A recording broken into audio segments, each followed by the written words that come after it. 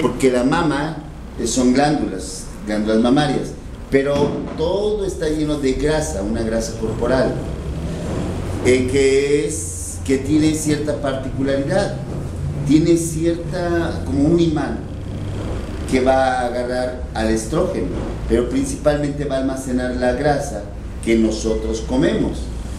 Si una mujer come grasa de cochino, de res, de pollo, de lo que sea, esa grasa no va, se va, va, a circular, se va a depositar en el, hígado, pero como comen en exceso debe, se deposita en la mama, y la mama no es más que un acúmulo de grasa, grandes cantidades de grasa y una capa muscular, ¿no? Pero eh, en esa grasa que viene del puerco, al puerco le inyectan hormonales para que la carne pues sepa rico, para lo que sea, ¿no? A una vaca diariamente produce 18 litros de leche, todos los días 18 litros. Pero a mí me lo dijo un amigo de acá de, de más o menos, que él mismo le inyectaba a sus vacas alguno, algún agente hormonal para que diario produjera 22 litros de leche. Se imaginan 22 litros de leche. Pero esas, esos residuos hormonales se van directamente a la grasa de la leche. Ahí se queda. El yogur está hecho de leche, pero también tiene grasa. ¿sí? El queso tiene grasa, pero también tiene residuos hormonales. El pollo, a las gallinas les dan la famosa pollinasa, ¿no? pero contiene hormonales para que el pollo pues crezca rápido. En mes y medio ya está listo para que nos lo comamos acá en, en, donde ustedes quieran, ¿no? Rico, ¿no? En la calle, donde sea, sabe rico, sabe sabroso, ¿no? Este, ¿qué otra cosa? El huevo, igual. Por eso la gallina pone tantos huevos. Bueno, todo, toda esa grasa contiene hormonales que se van al seno y por cierta particularidad o por cierta eh, mm, herencia, eso es hereditario. Si la madre tuvo cáncer de seno, la hija tiene altas probabilidades de tener cáncer cuando sea grande.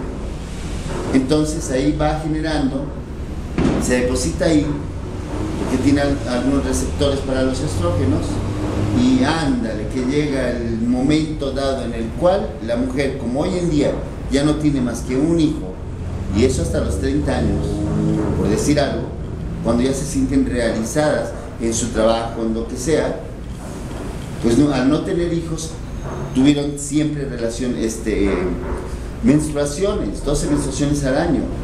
Pero ¿qué pasa? Al no tener hijos, se ven sometidas a los estrógenos, todo, la, toda, durante 30 años. Cuando se tiene un hijo, durante un año no hay estrógenos.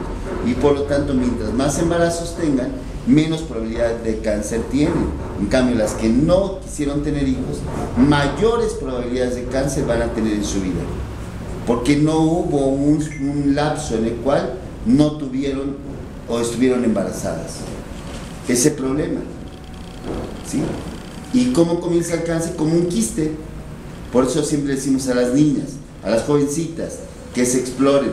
O bien, si tu hija, la hija de ustedes, se queja, mamá tengo una bolita, mamá me duelen los pechos, a una semana antes de que me baje la regla, se siente duro el pecho, tieso, duro, inflamado, y tienen bolitas, cuidado, porque ahí van, ese es el principio natural de la historia de la enfermedad llamada cáncer. Al principio son quistes, crecen, se hacen profesionistas, no quieren tener hijos, pues se exponen a los estrógenos, ¿no? Y nunca descansan, y tal que temprano cáncer de pecho, punto. Ya. ¿Y qué les pasa? ¿Por culpa de qué? Por culpa de no querer tener hijos, por culpa de no querer amamantar al bebé y por comer grasas de origen animal. Y por más que uno les diga, no comas eso, o cómelo como antojo, lo están, lo están comiendo. ¿Sí? Ahora en el hombre, ¿qué ocurre? Lo mismo, el cáncer de próstata le da al hombre, también por las grasas, por la carne principalmente, por los mariscos, por el pollo, por la res, el puerco, que genera cierta testosterona anormal. Hasta los 40 años producimos una testosterona fuerte y poderosa, ¿no? Pero después, de, hola, ¿qué tal? Pero después de los 40 años hay una testosterona que es muy poderosa, mucho, muy poderosa. En el último intento que hace el cuerpo para generar la masculinidad en el hombre, se produce una testosterona, esta es altamente agresiva y destruye o hace que las células de la próstata muten, crezcan, se reproduzcan, produzcan más testosterona, se, se vuelvan más locos. Es cuando le, entra al hombre la tercera adolescencia. Cuando anda uno ahí correteando a las chamacas, ¿no? ¿Sí o no? Eso sí es cierto. Bueno, mí me pasó como en mi quinta adolescencia. Pero pues así me hicieron. La culpa no es mía, es de mis padres. ¿O no? Nos le llamamos el gen Chávez, porque todos somos bien enamorados. Hasta los chiquititos, ¿verdad? Los hombres. Los hombres, las mujeres no, dije chiquititos. Ahí tenemos a Toñito, este anda, pero nada más miren, ven una muchacha guapa. Ay, se le van los ojos al chiquitillo. Ya es un gen, es un gen, ¿no? Y si es un gen, no es culpa de nosotros. Hay ciertos genes que se despiertan y se van heredando de padres a hijos. Es algo genético. Así que no somos culpables de nada. Perdóneme, pero no. No, sí es cierto. Ah, es la verdad, ¿eh? son genes que determinan la sobrevivencia de la raza humana. Nada más. Es en serio porque vamos, así es. Los hombres, también los hombres que más hijos tienen, tienen, dan hijos fuertes, inteligentes, con vitalidad, porque la raza humana es lo que busca, es la teoría de la evolución de las especies, preservar las especies. Pero en cambio aquellos hombres que no tienen esa propiedad, tienen uno o dos hijos y ya, punto, ya. Y hasta eso medio los tienen.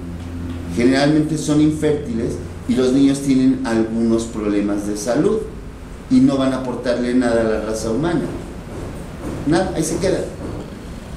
Es la sobrevivencia de las especies, lo dijo Charles Darwin, ¿no? Pero es así nada más, así que no soy culpable de nada. Y quejas, ya saben a dónde. ¿A dónde?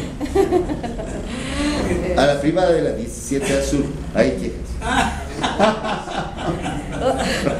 Pero también es cierto que, que, que, no, sí da cáncer en las mujeres cuando es una multiparidad. También. también. Estamos hablando de... Por obesidad.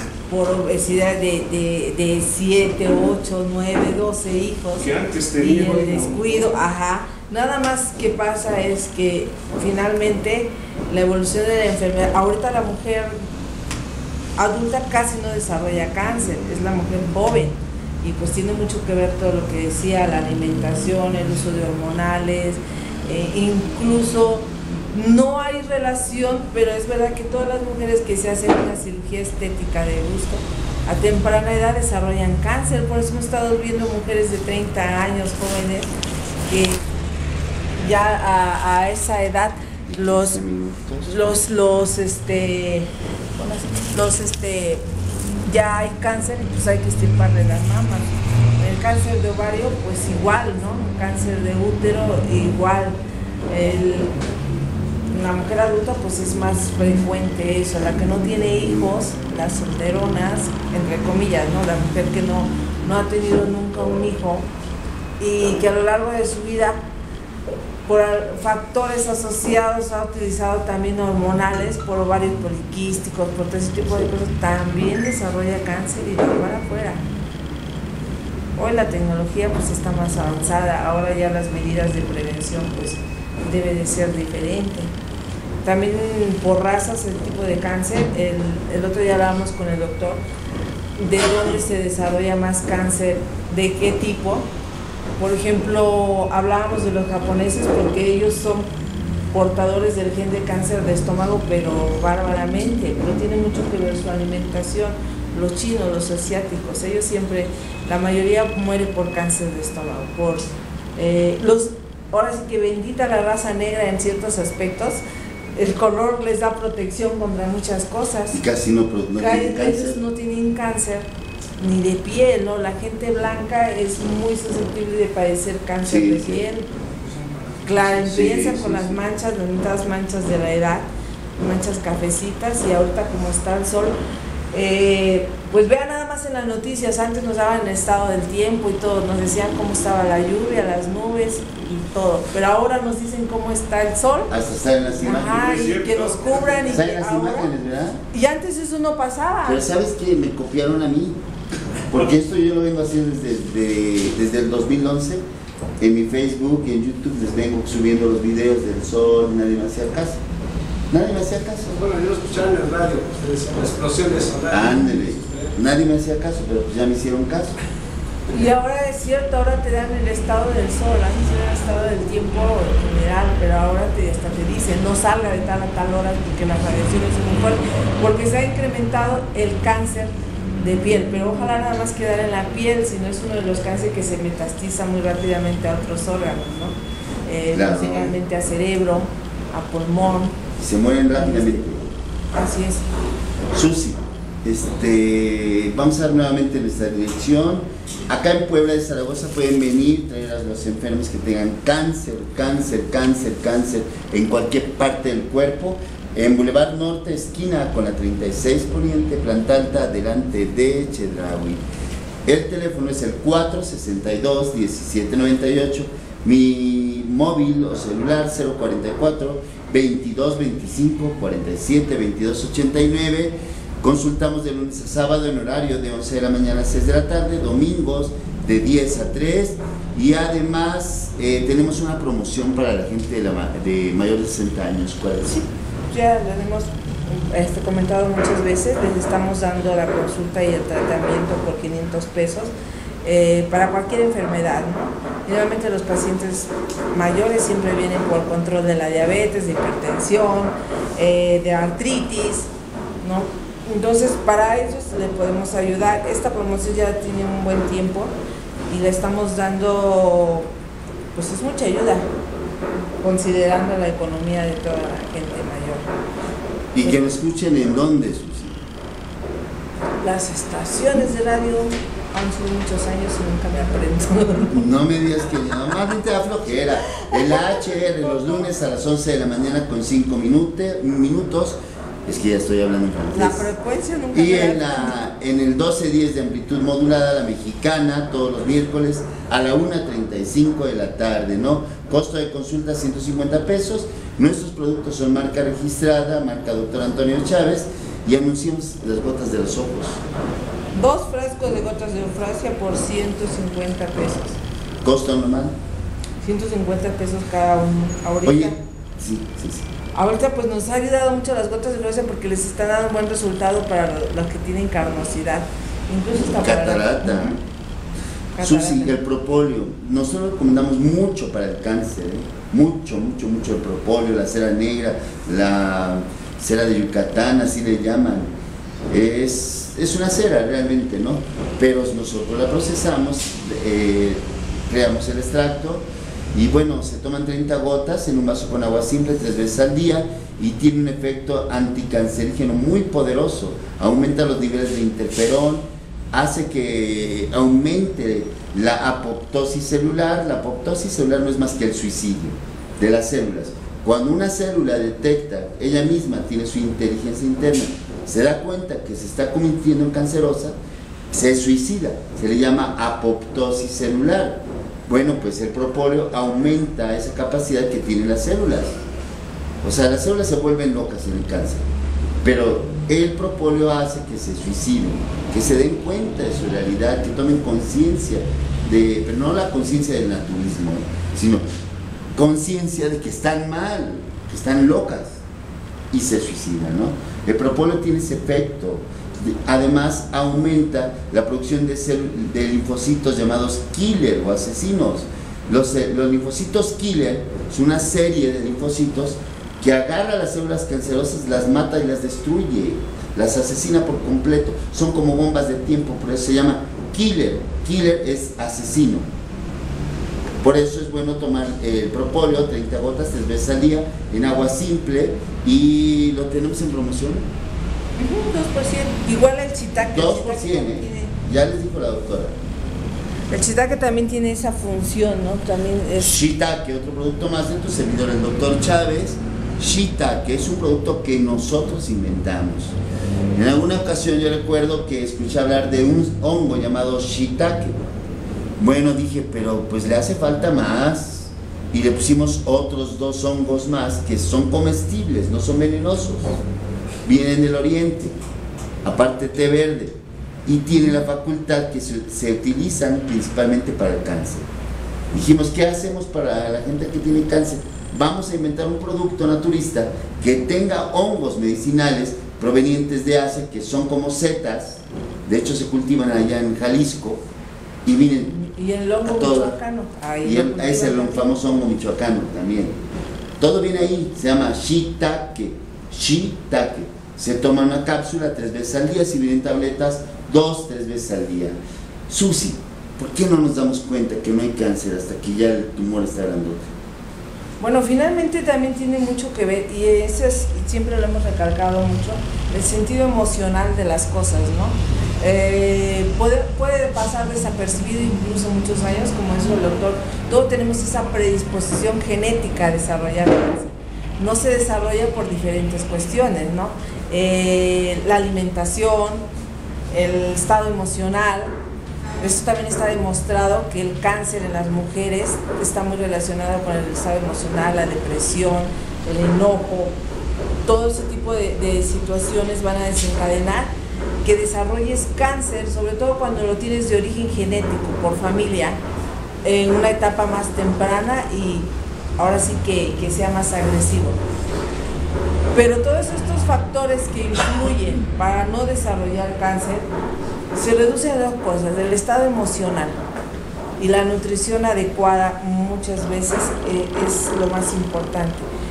Pero ahí pasa algo, cuando desarrollamos cáncer, que por curiosidad o porque te empiezas a sentir mal y has estado en un cuadro depresivo previo, antes por alguna situación, vas y te descubren cáncer, no sé qué les pasa a nuestra mente, que al escuchar la palabra cáncer, ¡pum!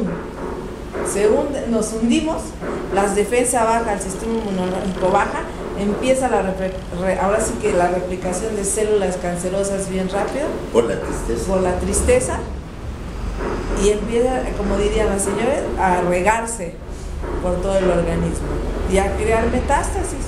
O a veces pasa muchos años en que ya tienes cáncer de tipo metastásico y no se dan cuenta. Cuando les dicen, cuando ya se les ponen dicen- graves. Ah, es cuando el tumor crece horrendamente y ya da metástasis a todo el cuerpo. O cuando la mayoría de, de- de- de médicos o en alguna institución tiene la genial idea de hacer una laparotomía exploratoria para ver qué encuentra. Y si encontró, lo que Sí, hacen sí. es al abrir, modificar ciertos factores hasta el ambiente, ¿sí? Y en piel, sobre todo a nivel de cáncer de estómago o de intestino, ahí es cuando, cuando más rápido puede. ¿sí? En algunos casos nosotros hemos visto durante muchos años que existen casos milagrosos de gente que se ha curado de cáncer. En otros lo que hemos podido hacer o lo que se ha podido hacer es controlarlo, ¿no? Controlar. Pero depende mucho del estado emocional de la, de la paciente o del paciente. ¿Sí? Otras veces le somos francos y pues con la ayuda de la quimio, la radio, lo que tengan, lo que, tengan que hacer, más la ayuda de los inmunoestimulantes que se les dan, pues hace que el cáncer este, desaparezca. y en los últimos casos les ayudamos a bien morir. Y en otros casos, Sí. finalmente esa es la idea, bien morir, las Por el dolor. situaciones no, no este, sufrir. Cuando el cáncer ya está en una etapa muy avanzada, que ya no podemos hacer nada, que los médicos los mandan a morir a su casa, lo peor que se puede hacer es, uno como médico es hacer eso, ¿no? De una forma hasta grosera. Ya no podemos gastar en nada más, ya no le funciona la quimio, la radio, ya, ya no puede ser más que ir a morir. ¿Qué pasa en esos pacientes? La depresión los mata Y el dolor. mata antes de tiempo. Y el dolor, ¿no? Porque, por ejemplo, el cáncer de cerebro, un es caso. dolorosísimo. el cáncer de cerebro es de los dolores más horrendos que pueden ser y el- los gritos y el sufrimiento del paciente es concebible. Pero aquí pasó un caso muy chistoso, nos vino un paciente, La mamá. la mamá desesperada, porque No, mandaron, vino la esposa vino la esposa con su hijo, eh, a algo que le ayudara a amortiguar el dolor, porque las dosis de morfina iban en aumento en aumento cada ocho horas y ya no era suficiente. ¿sí? Ya no podían darle más, ya era el límite. Ni así se le quitaban los dolores. ¿Saben con qué se les quitó el dolor? Nada más con las flores de Bach. Solo con flores de Bach. Y la palabra del doctor que le